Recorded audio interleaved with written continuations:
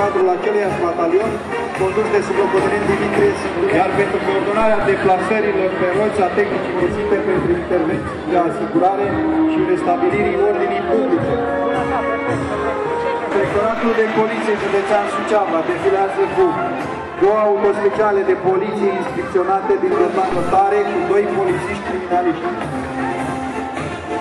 Patru umbluri canine, motorism de teren veco masiv, Thank you.